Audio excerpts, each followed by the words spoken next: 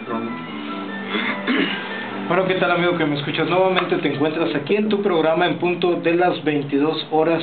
Evidencias, eh, hoy tenemos un programa muy ameno, pero bueno, primero voy a dar la bienvenida, como es costumbre aquí a este programa, a mis amigos y compañeros aquí en cabina, Raúl y Sergio. Raúl, ¿cómo estás? Buenas noches. Hola, ¿qué tal Ernesto? Muy buenas noches y buenas noches nuevamente a toda nuestra audiencia. Estamos aquí para ustedes transmitiendo eh, un tema más de interés que vamos a estar desarrollando a lo largo de esta hora que espero que, que sirva de, de mucha ayuda la información que les vamos a presentar. Sergio. ¿Qué tal Raúl? Buenas noches. Ernesto, también buenas noches y a todo nuestro público que nos escucha.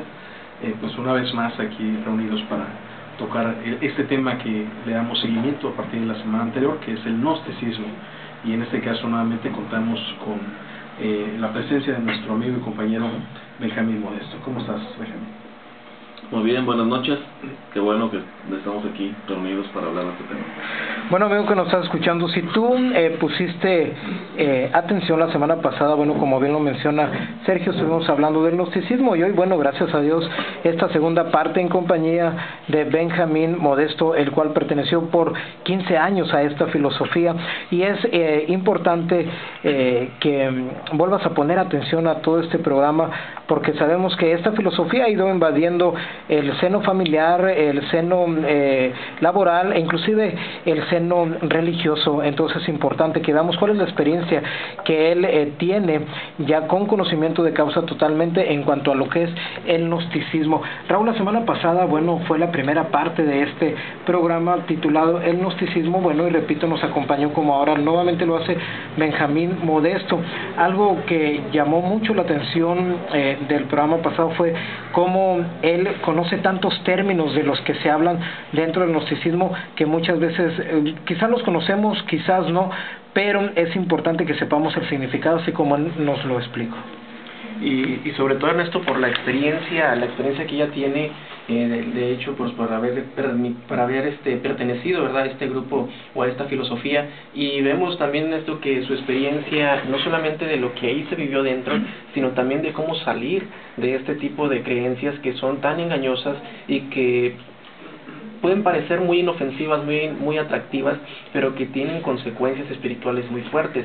Yo creo que cuando una persona ya, ya habla por experiencia, eh, tiene mucho mayor peso y credibilidad todo lo que esta persona diga, porque esto que estamos presentando aquí precisamente es una evidencia de lo que hay en esa creencia, pero también una evidencia de que la Biblia, de que la palabra de Dios está sobre cualquier creencia, sobre cualquier filosofía y y digamos que impera, gobierna aún por encima de todo esto y deshace cualquier doctrina que vaya en contra de esta misma palabra de Dios.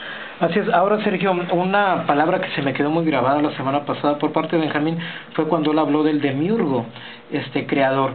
Eh, nosotros, eh, toda la gente que hemos decidido, Sergio, seguir a Jesús, sabemos que solamente hay un creador, pero cuando dentro de esta filosofía se habla del demiurgo, bueno, pues es de los términos que eh, aprendimos eh, muchos de nosotros la semana pasada por medio eh, de Benjamín. Así es, en efecto, y bueno, unado a lo que es ese concepto, como tal, hay una serie de información que la verdad desconocíamos y que nos fue eh, necesario poder escuchar de parte de nuestro compañero Benjamín, eh, con el fin de obviamente cotejar eh, cuáles son las bases de esta doctrina y sobre todo para la gente que pudiera estar inmiscuida en, en este tipo de prácticas, que pueda conocer verdaderamente eh, cuál es eh, la raíz de todo este tipo de información y sobre todo que, que tomen una decisión importante, ¿no? y en este caso que es el, el hacer eh, ser obedientes a Dios conforme a su palabra.